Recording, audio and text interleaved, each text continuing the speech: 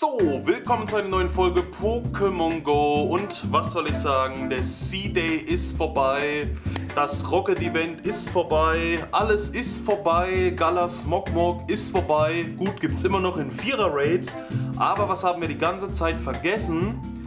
Ich habe doch immer die Krypto-Pokémon gesammelt, die ganzen Familien und dann habe ich die auch alle entwickelt, Welle für Welle für Welle. Dann kam die vierte Welle und bevor ich die vollständig hatte, kam auch schon die fünfte Welle raus im Zuge eben dieses Team Go Rocket Events. Das hat sich alles ein bisschen überlappt. Dann kam die ganze Spezialforschung. Dazu musste ich wieder 1000 Folgen machen. Jeden Tag eine, wie man die Bosse besiegt. Dann die Spezialforschung einzeln nochmal durch. Nochmal alles machen. Wusste ich ja nicht, dass das Teil der Forschung ist. Und die schillernden Rocket Pokémon, sagen wir es mal so, haben wir dann auch noch entwickelt. Die Event-Ausbeute gezeigt. Jetzt das Wochenende mit dem C-Day war auch wieder kräftezehrend. Aber jetzt haben wir uns mal ein bisschen Zeit genommen wollen mal wieder eine Kryptowelle von den Team Rocket Stops zeigen und entwickeln. Die ganze Familie, es dreht sich jetzt also um die vierte Welle. Nicht zu verwechseln mit der fünften Welle, die ganz als letztes kam. Das seht ihr aber jetzt gleich den Unterschied. Wir geben mal ein Krypto. Und irgendwie ist mir richtig warm einfach nur. Ich glaube, ich muss mich gleich nackt ausziehen. Wir gehen jetzt rein, ihr seht hier nochmal die Starter, die sind ja alle schon drauf gewesen. Angefangen haben wir hier mit Hornliu, dann nehmen wir auch wieder das Größe und entwickeln das zweimal durch, machen ein äh, Kokuna draus und ein Bibor. Die gleiche Frage natürlich wie immer, sammelt ihr auch alle Krypto-Pokémon und sammelt die ganze Familie, habt ihr dann auch einen Krypto, einen Living Krypto Pokédex bei euch im Beutel oder ist es nur Platzverschwendung?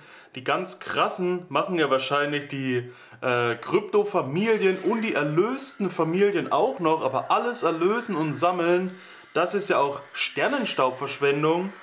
Hier investiert ihr nur ein paar Bonbons und die sehen wenigstens zum Teil anders aus. Die Erlösten sehen ja nicht anders aus. Die haben zwar diesen weißen Schimmer drumrum, aber guckt euch doch mal so ein richtig brutales, böses Biber an. Das ist doch genial. Vor allem der Schatten im Hintergrund. Der dreht sich mit, wie der hinter dem Biber noch zu sehen ist. Das ist genial. Das kostet euch nämlich keinen Sternenstaub. Das kostet euch ein paar Bonbons und die kann sicherlich jeder verkraften.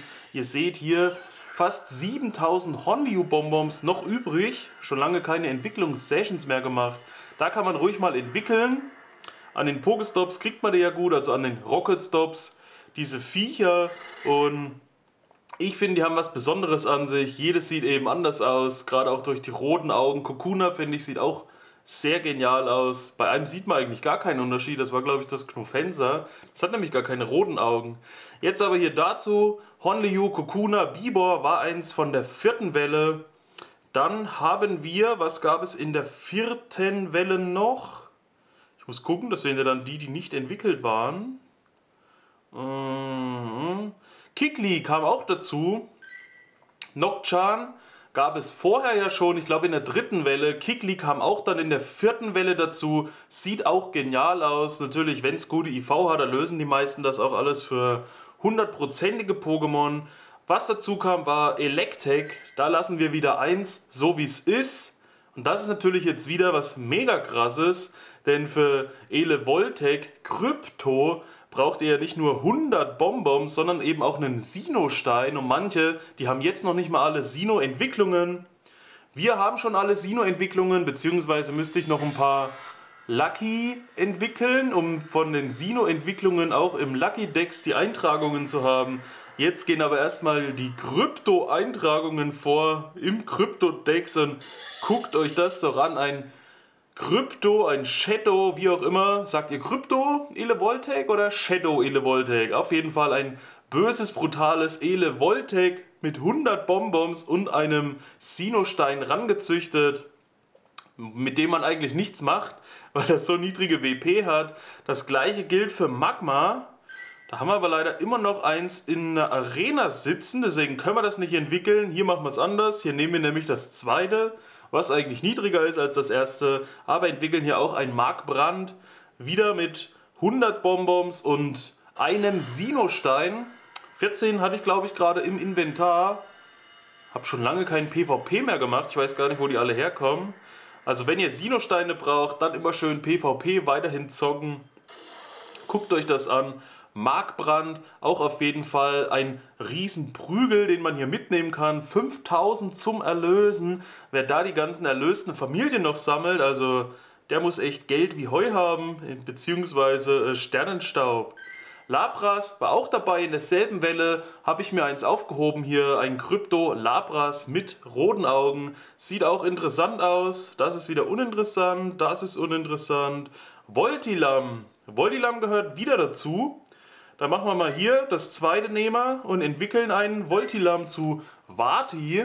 Voltilam war auch das letzte, was mir gefehlt hat von der vierten und der fünften Welle. Ich habe die fünfte Welle dann eher zusammen gehabt als alle von der vierten Welle, weil mir Voltilam gefehlt hat. Ich habe immer, wenn ich dann irgendwo hin bin und da war ein Elektrosatz am Rocket Stop, gab es entweder Magnetilo oder Electek, aber ich habe kaum Voltilam gesehen. Vati haben wir auf jeden Fall entwickelt und das höchste natürlich jetzt zu Vati und Akku leer. Genau. Ne, wie heißt das letzte? Jetzt komme ich heute nicht auf den Namen. Ampharos. Genau. Voldilam also, da war ich froh, dass ich dann alle drei noch bekommen habe. Voldilam, Vati und Ampharos. Hat ein blaues Kügelchen auf dem Schwanz. Ihr seht, hier ist noch der Schatten drin. 100 Bonbons, da haben wir auch noch 2400 übrig, also das ist nicht schlimm, das können wir gerne machen, solange wir es nicht erlösen, denn den Sternenstaub, den wollen wir sparen, da haben wir noch einiges anderes mit vor. Ich habe immer noch keine zweite Attacke bei irgendeinem Pokémon hinzugefügt. Mit dem Sternenstaub könnte ich das eigentlich machen, aber ich spare einfach mal, ich war letztens bei den 12 Millionen, raus haben wir jetzt auch, jetzt bin ich wieder bei 11 irgendwas. Mm, mm, mm, das gehört auch nicht dazu, das gehört nicht dazu, das gehört nicht dazu. Samurzel gehört wieder dazu. Machen wir hier wieder das zweite. Samurzel entwickeln wir das zweithöchste. Ich glaube, ich habe irgendwas gepusht, oder? Habe ich was gepusht? Ich weiß nicht. Getauscht sicherlich. Immer durchs Tauschen, weil ich immer mit irgendwelchen Leuten tausche für die ganzen Shinies, geht natürlich immer der ganze Sternstaub weg, weil ich meistens für 80.000 Sternstaub tausche und dann ist die 12 Millionen nicht mehr lange da. Jetzt haben wir also ein Blanas und genau wie das nehmen wir jetzt das höchste, machen es jetzt einmal zu Blanas und dann einmal zu Tengolist. Ich glaube, dann sind auch fast alle von der vierten Welle schon durch. Der Adi ist auch durch, der isst den ganzen Abend schon seinen Fuß. Nein, dem, dem geht's nicht gut. Ich glaube, der ist krank. Sieht auf jeden Fall krank aus. So, jetzt haben wir hier das Blanas, wieder den Schatten unten, den wir wegmachen. Selbst da 2500 Bonbons noch übrig, also was wollt ihr sonst mit den Bonbons machen? Entwicklungssessions braucht man eigentlich nicht mehr. Wenn man Level 40 ist, durch die Freundesaufstiege, kriegt man ja genug Erfahrungspunkte hinterher zu, äh, hinterhergeworfen. In dem Sinn ist das ja im Prinzip wie eine Entwicklungssession. Eigentlich bei sowas könnte man auch mal ein Glücksei reinmachen, wenn man da so viele entwickelt. Tengolist, also jetzt auch eingetragen. Zobiris hat auch dazu gehört. Zobiris war noch dabei. Der hat natürlich keine Entwicklung, den müssen wir so lassen. Da fällt mir eigentlich die anderen Geister gehören wahrscheinlich auch dazu. Ey, wie viel sind das? Knackleon ist ja auch noch übrig. Knackleon müssen wir ja auch noch einmal entwickeln und dann nochmal entwickeln und dann habe ich ja die zwei anderen Geister auch noch. Also ich glaube, die vierte Welle ist bis jetzt die größte Welle mit den meisten Pokémon, die bei den Kryptos reingekommen ist. Oder ich verwechsel gerade irgendwas. Aber ich dachte, alle, die in der fünften kamen, habe ich mir markiert. Weshalb alle, die hier noch nicht entwickelt waren, zur vierten gehören müssten. Vibrava haben wir also da, Knackleon, Vibrava. Die waren ja selbst beim Knackleon Z-Day, gab es ja schon direkt am Knackleon Z-Day aus den Rocket Stops. Das war bei Panflam jetzt hoffentlich nicht so oder ich habe es wieder verpasst. Könnt ihr aber reinschreiben, habt ihr am ähm, Panflam C-Day Rocket Stops gemacht? Was habt ihr da so rausbekommen? Gab es da zufällig einen Panflam? Glaube ich nicht. Beim Knackleon C-Day war das aber so. Hier Vibrava können wir natürlich zu Libeldra machen. Das finde ich immer genial. Mein 1499er Libeldra, was ich immer in der Superliga nutze, weil das so schnell seine Attacke vollfüllt. Also damit kann ich so gut angreifen, Schilde rauslocken, Leute bekämpfen. Das ist richtig genial. Ich denke zwar immer, das ist vom Typ ähm, Flug und vom Typ keine Ahnung, ich meine, hier steht ja Boden oder Drache. Ich wundere mich aber immer, ich will es immer für irgendwas einsetzen und denke, das nehme ich, das ist effektiv und es ist dann nicht effektiv, weil ich jedes Mal die Attacken durcheinander bringe. Dann haben wir hier noch Tuska natürlich, der kleine Kaktus, der darf auch nicht fehlen. Tuska zu Noctuska. Hat er auch jetzt was? 1800 Bonbons oder so irgendwas. Nehmen wir auf jeden Fall auch mit. Der Akku hält, ne? 1% haben wir jetzt abgenommen in der Zeit, glaube ich. Noctuska auch dabei. Ihr seht ja, wenn ihr oben eingebt, Krypto, wie viel ihr insgesamt habt an Krypto-Pokémon. Noctuska 1838 Bonbons noch übrig. Hier nochmal ein Schuppet. Und das sieht genial aus. Der Geist sieht an sich schon böse aus und hat einen dunklen Hintergrund. Jetzt sieht er noch böse aus mit den roten Augen. Ein Krypto-Schuppet zu Krypto-Banett entwickelt. Shiny Schuppet und Shiny Banett haben wir ja auch schon. Theoretisch würde dann nur noch ein erlöstes Schuppet und erlöstes Banett ähm, fehlen. Aber wie gesagt, das, das setzt es selbst bei mir aus. Also das ist mir dann zu strange. So, hat er einen Reißverschluss vom Mund, ja, der extra immer aufgeht und wieder zugeht.